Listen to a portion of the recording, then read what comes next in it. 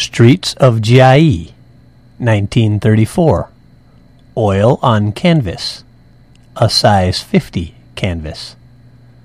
With its four gates, numerous moats, and the city wall forming a shape similar to that of a peach, the ancient name of Chiayi City was called the Peach City.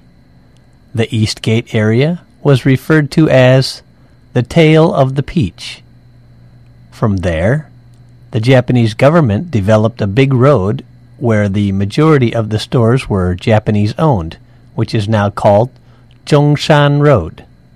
Next to it was a second big road called Zhongzheng Road, where most of the stores were run by local people. After the railway station was developed, there came a major business district en route from the station to the central fountain. Further on was the administration district. This painting shows a scene looking from Chiayi Hospital to the central fountain.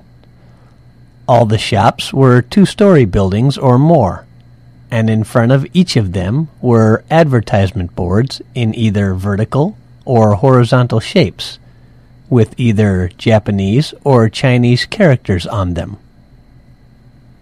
The western buildings on the right had arcades.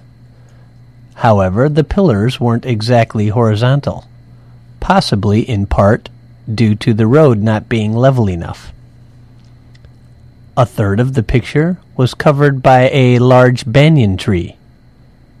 Under the shade of it was a peddler selling his wares. Across the street was an old man walking with a cane alongside a woman. This painting may have been lost, explaining why it is displayed in black and white. The scenes depicted in this painting certainly inspire a strong feeling of nostalgia towards the lovely city of Chiayi.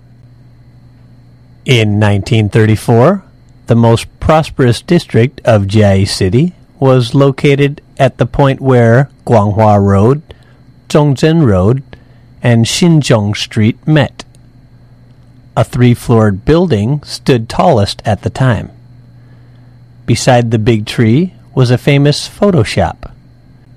It was also the west gate of the Zhuluo city wall in Qing dynasty times.